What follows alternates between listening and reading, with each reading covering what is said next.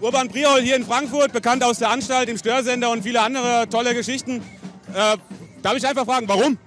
Ah ja, zum einen, weil ich ja in der Nähe wohne. Man hört es nicht am Dialekt, aber ich komme ja aus dem tiefsten Bayern, aus Ascheberg. Und wenn vor meiner Haustür sowas abgeht, dann muss man einfach dabei sein. Das ist völlig klar. Ist die Zeit jetzt, meinst du?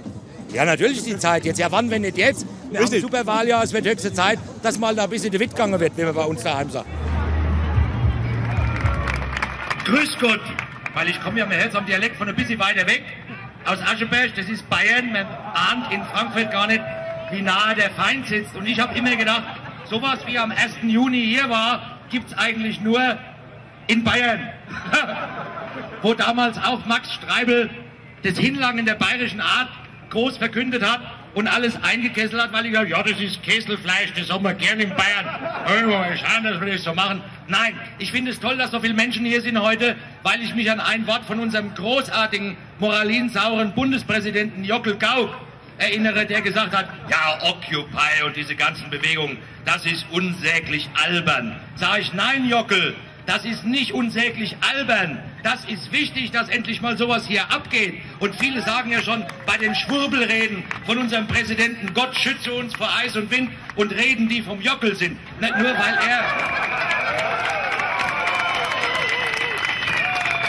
Ich habe auch nicht lange gezögert zu sagen, okay, ich komme hierher, ne, weil, wie gesagt, ich mit Bayern meine Dings, ich hätte nie gedacht, dass das hier, man muss aber auch mal sagen, die normalen Polizisten, ich habe vorhin auch mit ein paar geredet, das sind ganz normale Jungs, da war halt die Schafmachertruppe von Volker Bouffier und von Boris Rhein, die beiden schon, ja, es ist ja immer schon, wenn ich, ich bin ja in der ganzen Republik unterwegs und wenn die mich fragen, wie heißt der Ministerpräsident von Hessen und ich sage, der Bouffier, der Bouffier. Und auch der Bouffier hat gesagt, da müssen wir, weil es ist Wahlkampf. Und es ist klar, da geht es um die Themen Sicherheit, Bürger verunsichern, Angst schüren, Härte zeigen und dann geht's drauf. Und es ist schön, dass heute diese Gegendemo dazu nochmal so stattfindet, weil die anderen merken, oh Scheiße, so ganz kommen wir doch nicht mit unserem Mist da irgendwo durch. Na, wir haben hier ein Grundrecht. Wir haben ein Grundrecht auf Versammlungsfreiheit, was in Bayern sowieso nur unter ferner Liefen läuft.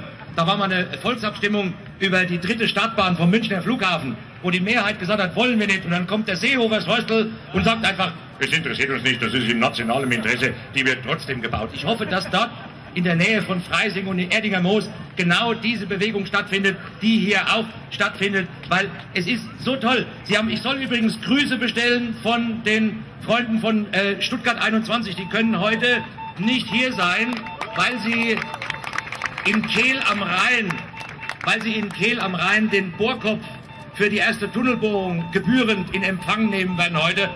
Das ist auch schönes Wetter, das ist prima. Nein, aber da hat sich ja der Bouffier ein Beispiel dran genommen und hat gesagt, so wie der Mappus das gemacht hat, damals mit den Wasserwerfern, da sind noch ein paar übrig gewesen halt. Ist klar, das sind historische Fahrzeuge, ne, die kriegen Standschäden, die muss man auch ab und zu mal bewegen. Dann haben wir gesagt, kommt mal nach Frankfurt, das können wir gut brauchen. Dann war eine Abordnung von Boris Rhein äh, zur äh, Parlamentarier-Informationsreise noch in Ankara, hat sich dort mit Erdogan getroffen und hat gesagt, wie ist denn dein Pfefferspray? Können wir das bei uns vielleicht auch einsetzen? Und da hat er gesagt, Demokratie, Demokratie, scheiße, Demokratie, scheiße, Platzbesetzer machen wir drauf, das ist kein Problem. Und wer zu allem natürlich wie immer schweigt, ist unsere tolle Kanzlerin, oder? Hä?